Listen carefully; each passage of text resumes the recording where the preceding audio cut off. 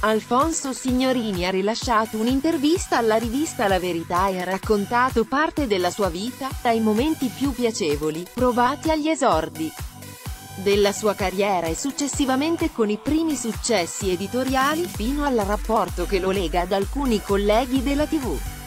In particolare, si è soffermato su Barbara D'Urso, per la quale ha avuto parole net ma molto equilibrate, una staccanovista eccezionale e un animale da telecamera. Però, non mi piace il finto moralismo, il suo grande fratello sta battendo tutti i record del trash. Per quanto riguarda la sua posizione nel mondo delle adozioni, ha dichiarato, mi batto per l'adozione ai single etero-omosessuali, ma solo dopo il terzo anno di età del bambino perché nei primissimi anni una creatura ha bisogno delle cure di una madre. Ecco perché non ho condiviso, pur rispettandolo, Miki Vendola. Non sono d'accordo invece con la maternità surrogata.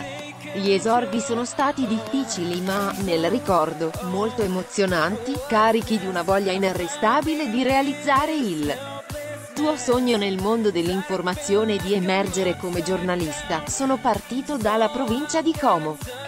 Mia madre era casalinga e mio padre impiegato, nessuno che potesse facilitarmi. Ma avevo il pallino della musica. Studiavo, suonavo e leggevo le recensioni. La mattina andavo in piazza Cavour e salivo tutti i piani del Palazzo Dei. Giornali, il giorno, la stampa, la notte. Qualche volta scrivevo delle brevi, ma non c'era futuro. Allora, mi proposi come corrispondente alla provincia, mandavo brevi critiche sui concerti della Scala e dei festival. 7.000 lire a pezzo. Una carriera poi decollata, che oggi gli sta riservando grandi soddisfazioni come direttore del settimanale Chi è opinionista in diversi programmi Mediaset.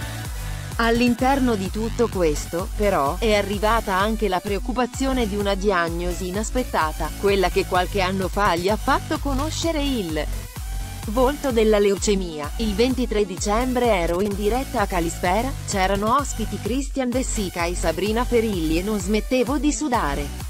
A mezzanotte avevo 40 di febbre. Terminai la serata e andai al pronto soccorso del San Raffaele.